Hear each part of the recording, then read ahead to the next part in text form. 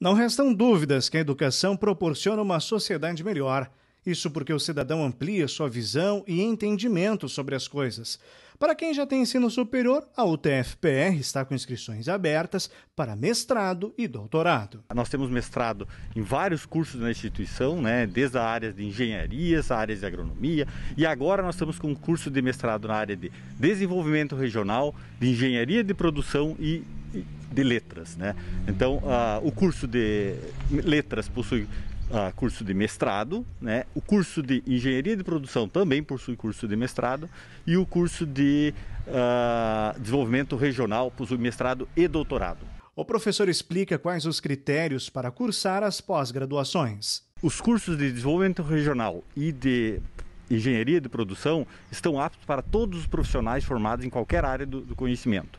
O curso de letras é mais direcionado àqueles profissionais da áreas de, de línguas, de, de, áreas mais relacionadas né, a licenciaturas em letras e linguagem. Né? Então, são a, também aberto uma boa, uma boa gama de profissionais da, da nossa comunidade. Os interessados devem ficar atentos ao período de inscrições. Nós temos agora o curso de Engenharia de Produção, ele possui inscrições abertas até dia 13 de setembro.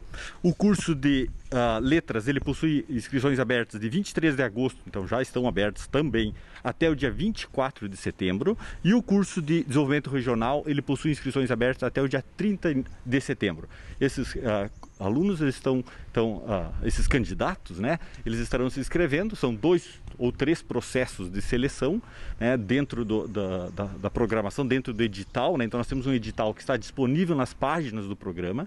Os alunos, os candidatos, novamente, né, futuros alunos, esperamos, uh, podem procurar esses, esses editais pelo, pelo próprio site da universidade, utfpr.edu.br, na guia Pesquisa e Pós-Graduação, e ali ele vai procurar então o curso de mestrado ou doutorado aqui de Pato Branco. Para o atual momento que o mundo vive, o professor ressalta a importância das pessoas buscarem mais formações. Cada vez mais a, a sociedade demanda de um pensamento crítico, né? Então todos os programas, né, eles têm essa visão, né, de formar não só pesquisadores na, para a linha acadêmica, mas também cidadãos, né, com essa visão crítica para a sociedade, né, em todos os aspectos, inclusive que leve, né, geralmente a um desenvolvimento sustentável, né, dentro das, das, das óticas de cada um dos programas, né, cada um então tem uma linhas específicas de pesquisa, né, então, ah, obviamente, então que esse, esse desenvolvimento ocorre, né, vinculado aos seus projetos de pesquisa, a áreas específicas que aí sim né, serão desenvolvidas durante o curso.